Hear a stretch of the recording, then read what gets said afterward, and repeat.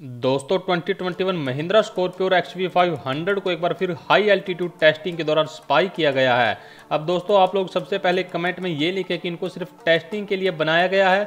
उससे पहले मैं आप लोगों को बताना चाहूँगा, दोस्तों, दोनों गाड़ियों को मिड 2021 के अंदर लॉन्च कर दिया जाएगा।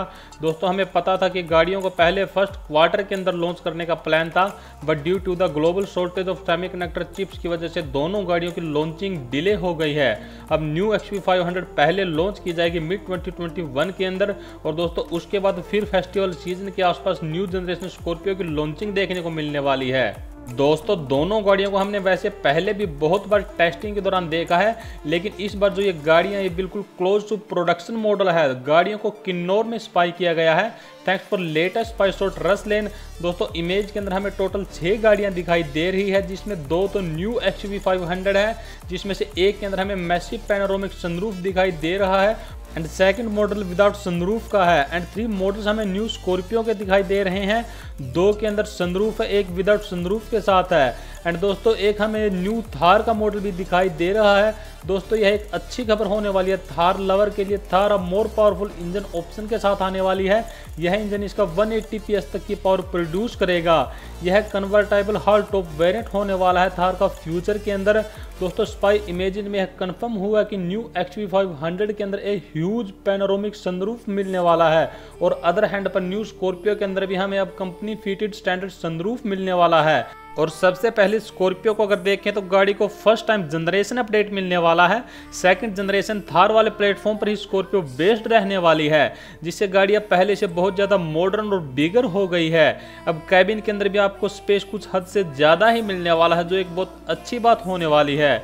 और दोस्तों, अब कुछ स्टाइल की अगर बात करें तो सभी बॉडी पैनल्स नए लगाए गए हैं गाड़ी के अंदर। New seven slot front grille मिलने वाली है and new LED headlamp cluster भी रहेगा गाड़ी के अंदर। And the S gets a wider central and lower air dams new front bumper के अंदर सी शेप एलईडी डीआरएल्स लगे होंगे। एस का ओवरऑल डिज़ाइन पहले के जैसे ही बॉक्सी शेप में बनाया गया है। फ्लैट रूप के साथ साइड में आपको न्यू डिज़ाइन के 17 इंच में मल्टी स्पोक अलोविल का डिज़ाइन दिया जाएगा।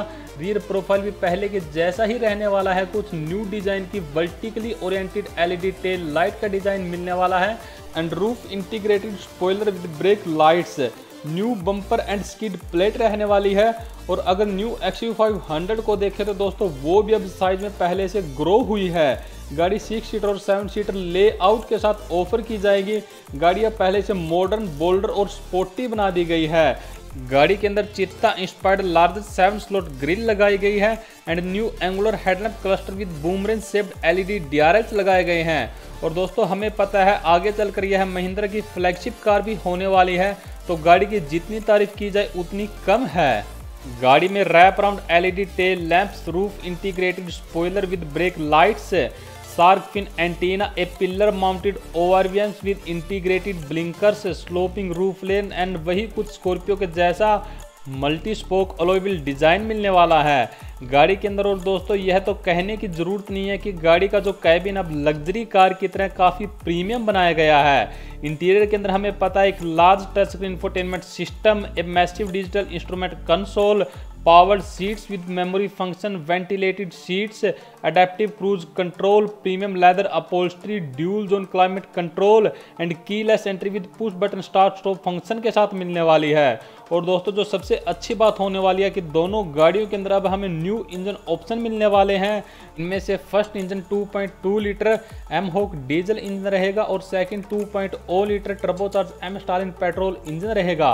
स्कॉर्पियो के अंदर ये इंजन 158 bhp की पावर और 152 bhp की पावर प्रोड्यूस करेंगे। वहीं दूसरी side new generation X U के अंदर ये इंजन 180 bhp की पावर और 190 bhp की पावर प्रोड्यूस करेंगे। दोनों गाड़ियों के अंदर हमें बो ट्रांसमिशन ऑप्शन भी ऑफ़र किए जाएँगे। दोस्तों, मुझे पता है कि कई मेरे भाई ऐसे हैं जो इन गाड़ियों का एक बेसब्री से इंतज़ार कर रहे हैं। दोस्तों, अगर आप भी इनमें से किसी गाड़ी का वेट कर रहे हैं तो आप मुझे कमेंट करके ज़रूर बताइएगा। और अगर आपका कोई भी सवाल न्यू एक्स वी और स्कॉर्पियो से रिलेटेड है तो आप मुझे कमेंट करके ज़रूर पूछ सकते हैं। दोस्तों, आज की वीडियो में बस इतना ही। आई होप वीडियो आपको पसंद आया होगा। अगर आपको वीडियो पसंद आया है तो वीडियो को लाइक के साथ शेयर ज़रूर करिएगा। अगर आप हमारे चैनल पर फ़र्स्ट टाइम आए हो तो चैनल को सब्सक्राइब कर बेल आइकन घंटी को ज़रूर दबा दें। Thank you all of you